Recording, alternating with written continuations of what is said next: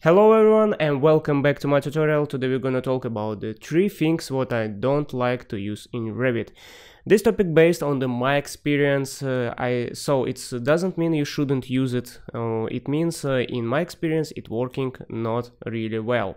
Maybe you will find this topic interesting and uh, you will take the some uh, ideas to your cases. If you are ready for this tutorial, let's get started.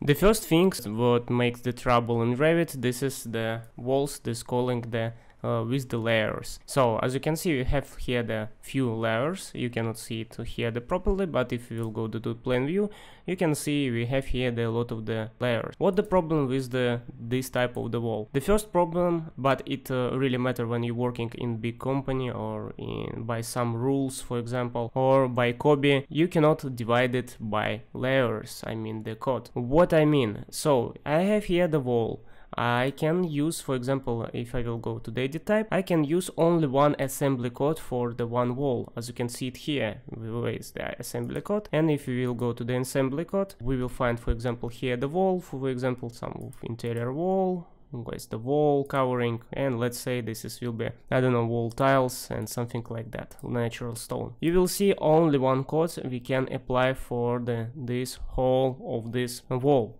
Yes you can say we can divide the our wall by parts if we will divide by parts and we will select one of the part, you're not able to change it. As you can see, it's not able to change it. Whenever you will ch check, you cannot change it.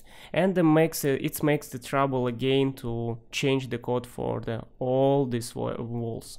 So I prefer to use and uh, most of the people also prefer to use dividing by construction wall, interior wall, architecture wall and creating separately.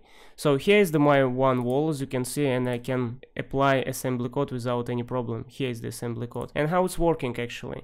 Architect creating one wall for example this is construct wall and after that architect creating the another type of the wall let me will create it here is the another type of the wall, I will use not Mansory, let me I will use some interior thing for example this one. And we will use like that. And architect will create the another type of the wall. Of course we should uh, switch off this layer, we will leave only one. Actually even not like this because here's the plaster.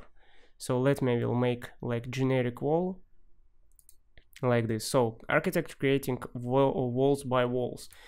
And now we can yes now we can without any problem apply the assembly code. You will say why we need the assembly code? And uh, i should answer like this. Uh, just please check this video from the uh, BIM Guru he really introduced it uh, really very well. I will leave the link to his channel below the video. Uh, check this video and you will understand why we are using the assembly code. This is especially for the students or the, for the entry architects. So check it because you will find it really useful. So this is number one. I not prefer to use layer wall because we have the problem with the assembly code. The second thing what you shouldn't use, it's really shouldn't, I think don't, everyone don't like this, when you're using the annotation.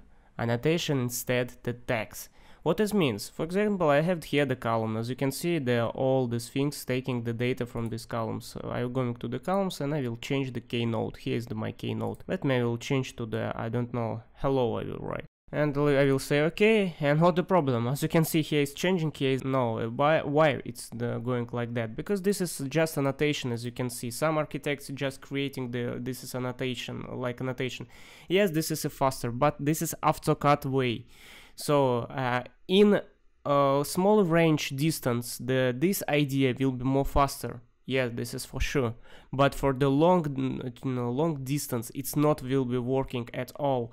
Because if you will change something really you cannot automatically taking this data. Don't use it at all if you cannot create for example the your own keynotes for example you wanna get not just uh, keynote data you wanna get for example the data from the comment you should you, you should check the my tutorials because i have all the tutorials about that.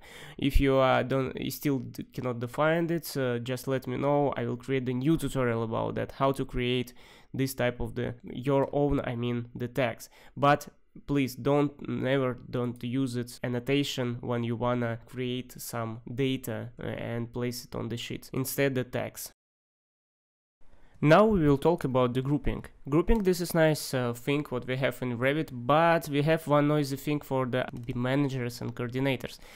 Uh, see, here we have a lot of the groups. I have all the groups for each level. But the problem is, for example, my client asking uh, write some parameter as you can see here is the group for the my wall. For example, if I will go to the my vmanage, I will go to the project parameters. Here I have some special parameter.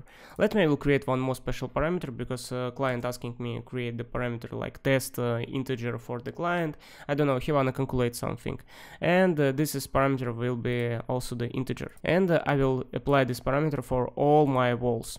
As you can see, here I'm using the instance, it means I can apply different parameter for the same type of the wall, so it shouldn't make uh, our problem as you understand. Let's okay, let's say okay, and now it's time going to the Dynamo. Here is my Dynamo, and client asking uh, like like some script or something else, doesn't matter. When you will, work in company, some of the process you not will see as an architect because uh, the BIM manager is doing it on the backstage. Okay, so let's run it. Uh, I'm running it and uh, I get the problem problem. As you can see, all the my walls now in orange color. It means we have some error and Revit giving us some advice. Let me, I will un ungroup he asking class ungroup the all the uh, our walls. Why? Actually, I found this problem in 2021 and earlier, and oldest version, but 2020 I didn't check it uh, right now, so maybe they already fixed this problem. But in previous version we have this problem, so I have only one, or actually I have two options. I should ungroup it, or I can write all these uh, parameters manually. So if I have one parameter, it's not a big problem, we can use the schedule. But if I have a lot of the parameters which is uh, uh, calculating by Dynamo, for example, it just makes a big problem. I will ungroup it, because I don't have any other chance. And as you can see, now our group is gone. It's just only the one type of the parameter and as you can see here is the test integer now this is correct now without any problem if I will change for example here the parameter and I will run it again so now it's uh, changing without any problem but once I will for example try to create or group it again for example these two walls as you can see I will try to make it a group and I will run it again. I should change the number. As you can see now it's not a big problem. So because we don't have any instance we don't have any instance group so group it's working but uh, just uh, if you will try if you will try to copy this group let me copy it and I will paste it to the some other level. Let's for example for this level. As you can see this is copying uh, our group. Here is main one. Here is the hosted. I will run it again for example the 6 and we don't have any uh, problem till uh, we not will copy it we copy it and as you can see here is the problem. So it should ungroup it. So this is the main thing uh, what i wanna share with you guys with this my experience. You can say we can use the python. Actually no i tried a lot of the times to use the python. Uh, again you should ungroup it change the para parameter and again the group it. And it will be already another group. So it's again it's really painful. If you find this tutorial really useful let me know below the comments. I will try uh, to share with you with my experience much more than just I did right now. Thank you guys for watching and see you next time.